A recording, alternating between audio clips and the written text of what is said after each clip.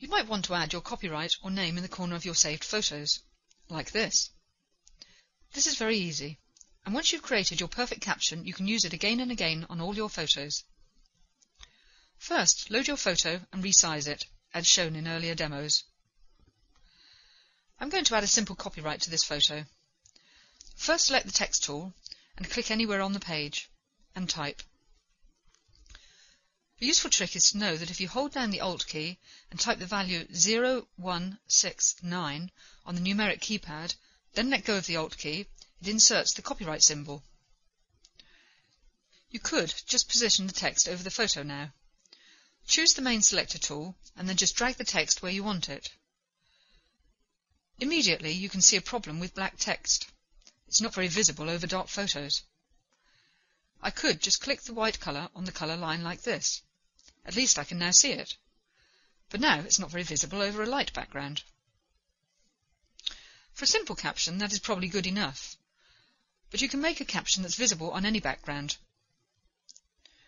So I'm going to undo back to my start text and use some of the Xara tools to create text that can be read over any background. The first thing I'm going to do is make my text bold. If I click the B button here, then any new text appears bold.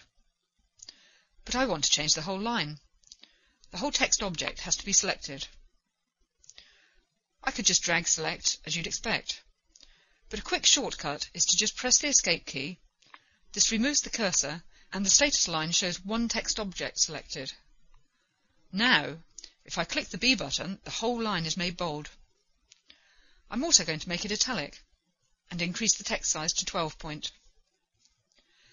You could also change the font if you require. To make the text visible on any background, you can add a drop shadow to white text. If I make the text white here, it vanishes because it's on a white background. So I'll make it white after I've added a drop shadow. Before I add a shadow, this text is a little small to work on, so I'm going to zoom in. Select the zoom tool and just drag around the text. Now it's much easier to work with.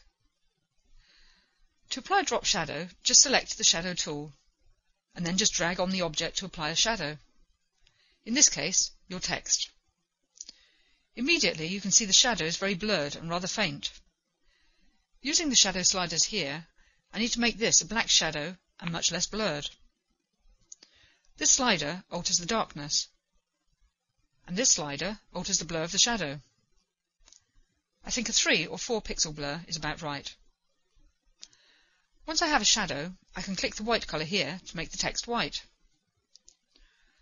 Now I just need to position it under the text by dragging on the shadow. Position it so it's a bit to the right and below the main text. Now we can zoom back to the original size. The previous zoom button is provided just for this. Now in the selector tool I can drag the caption around, and you can see it looks good over both a dark and light background. Of course, everything remains editable, so I can still alter the text colour, the shadow values, and even the text. If I go into the text tool and click on the caption, I can now edit it, and all the new text retains the shadow.